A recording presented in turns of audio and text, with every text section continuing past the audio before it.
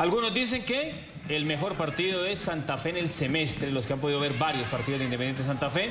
Igual desde el resultado redondo ante un muy buen equipo como Río Negro, que venía a hacer las cosas muy bien, pero se encontró con un equipo que se replegó bien, se paró bien en Weimar y que al final termina sacando una gran diferencia en el Alberto Grisales. Esta fue de, Wilson Morelo. Jugadota, ¿no? Jugadota y al final se va arriba. No anda derecho Morelo, pero apareció Carmelo.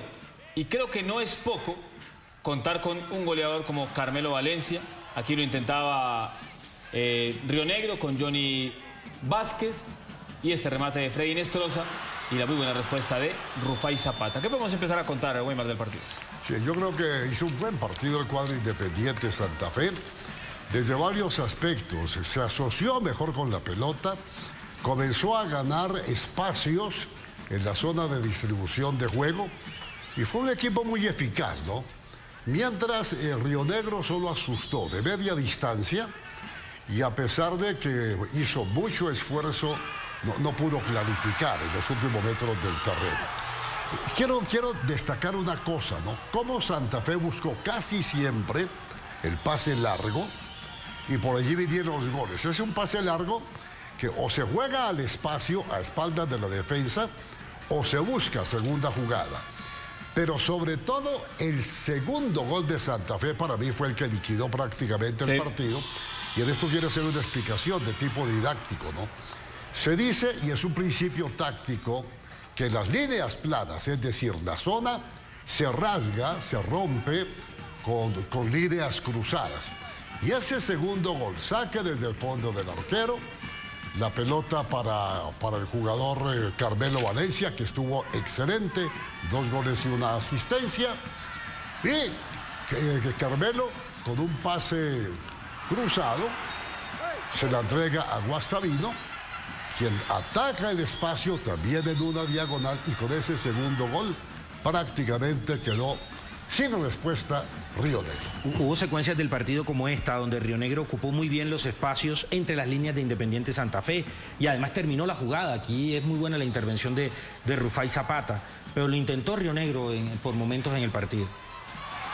Ahí está, la jugada a la que hacía referencia a Weimar el muy buen pase de Carmelo Valencia, había hecho el primer gol con una equivocación entre el arquero y Carlos Ramírez, en vez de un pase largo, pero acá mire, aguanta y ve la llegada y se la pone perfecta y la definición de Guastavino. Sergio, muy buen gol. es muy buen movimiento de Guastavino, porque Guastavino también se podría haber quedado quieto y entonces Carmelo hubiese tenido un pase de apoyo.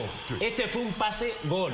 Entonces ahí está la... Pero rompe la línea plana por dos movimientos, el pase cruzado y el movimiento también cruzado de Guastavino. Fue un gol de una gran factura. Ah, típico del marca de ruptura, Weimar, que rompe esa línea tan rígida, como usted decía. ¿Qué, es lo que hace, muchos jugadores? Jugadores, y lo sabe Sergio, tiene siempre que atacar el espacio. Aquí pocas veces lo hace. Y, lo, destaco porque Guastavino es un volante, digamos, quizás por ahí no, no tiene esa característica de delantero, pero aguanta muy bien Carmelo cuando le marca el pase Guastavino, obviamente queda mano a mano. Pasa muy rápido de defensa-ataque Independiente Santa Fe. Mira, ahí recupera Gordillo y mire dónde queda Gordillo ya en una posición de ataque. y llegan hasta seis jugadores. Cuando Santa Fe estaba todo el equipo detrás de la línea de la pelota. Es un equipo muy rápido que sabe herir Independiente Santa Fe cuando tiene a, Carmelo enchufado.